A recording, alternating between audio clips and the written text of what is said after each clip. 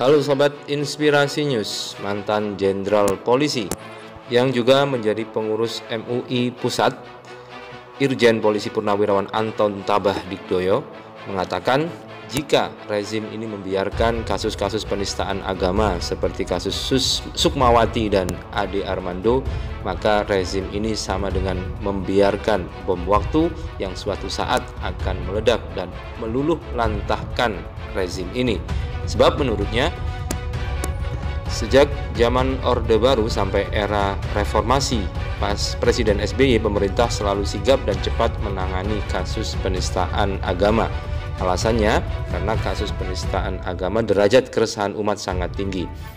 Seperti era Orba yang menonjol adalah kasus Arswendo yang membuat polling di tabloid monitor siapa tokoh yang berpengaruh. Dia meletakkan dirinya di atas nama Nabi Muhammad SAW. Arswendo pun akhirnya dipenjara maksimal lima tahun tanpa remisi. Sedangkan di era SBY ada dua kasus yaitu Lia Eden yang mengaku malaikat Jibril dan Ahmad Musadek yang mengaku Nabi.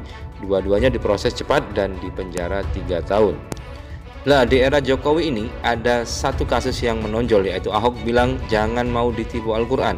Ini kasus sangat berat tapi nyaris tak tersentuh hukum lalu muncul aksi 411 dan 212 ujar Anton Tabas seperti dilansir RMUL pada Sabtu 16 November.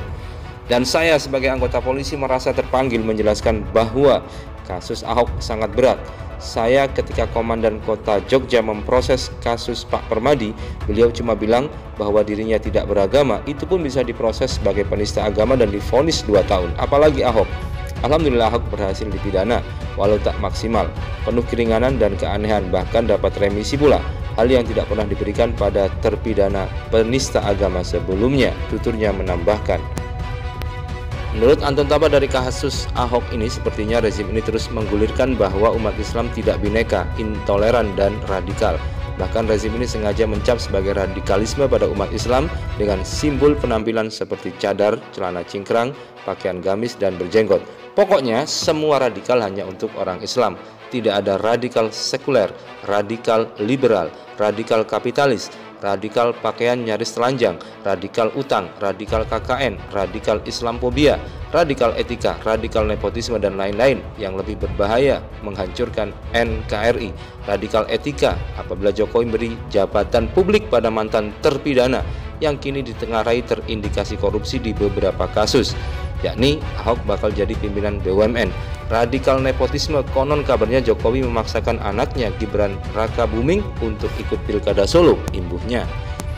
Anton Tabah mengingatkan jika rezim Jokowi melakukan pembiaran terhadap kasus-kasus penistaan agama termasuk pembiaran KKN sama saja dia memasang bom waktu yang akan meledak dahsyat meluluh lantakan rezim yang berkuasa. Ingat, Penistaan agama masuk crime index sangat serius hingga Indonesia punya undang-undang khusus selain KUHP dan fatwa MA agar hakim memfonis optimal penista agama. Dan terhadap kasus penistaan agama harusnya aparat langsung bertindak tidak usah nunggu laporan dari masyarakat karena itu bukan delik aduan. Delik umum polisi harus langsung memproses hukum pungkasnya